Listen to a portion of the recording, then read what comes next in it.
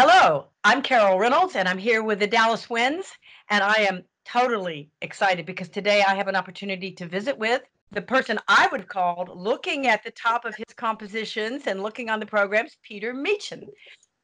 Hello, and tell me what I would have said if I had known you personally and grown up around you and known how to say your name.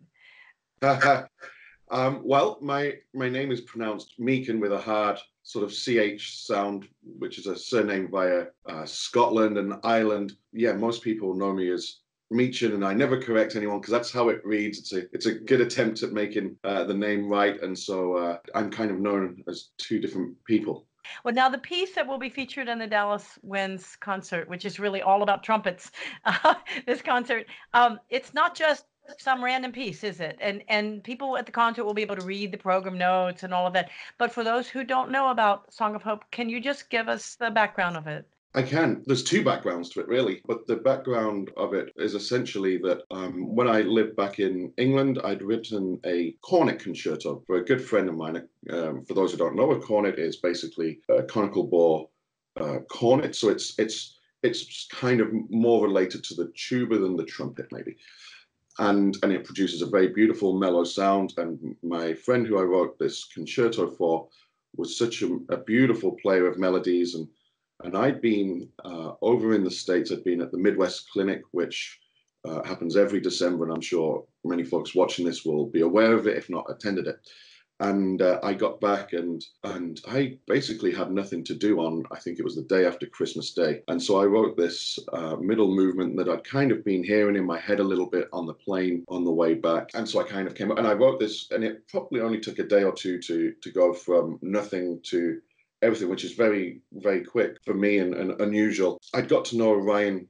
Anthony, who is a beautiful, wonderful human being, an incredible trumpet player. Uh, I first got to know him through one of the other trumpet players featured on the concert, Jens Lindemann, up in Banff, Alberta, here in Canada. We were chatting, and and he he related to my music that he, he'd heard and performed, um, and he'd always ribbed me though, saying, you know, it's always a bit miserable. You're such a happy guy. Why do you always write miserable music?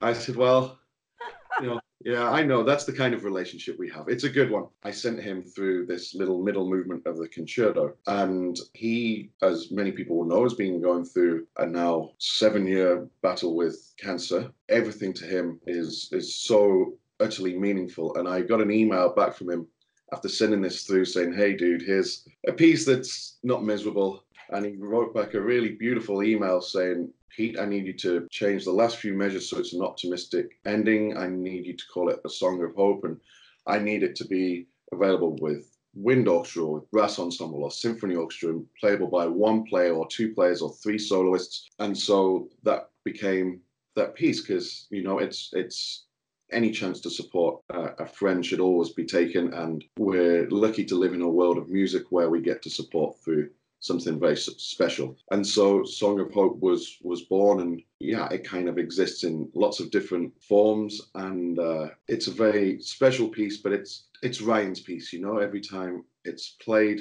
I always think about uh, Ryan and how his courageous battle continues, and and and it's and music is such a big part of that for him. And so you know, the more any of us can do to contribute to our friends' well-being that's the least we can do, you know. And and the power of, of, of music is that it does change lives. And so uh, Ryan and I both received lots of emails about how other people have played it and it's meant a great deal. It's reminded them of somebody or it's had its healing powers. You know, it's made people feel better or people have been able to reflect on things.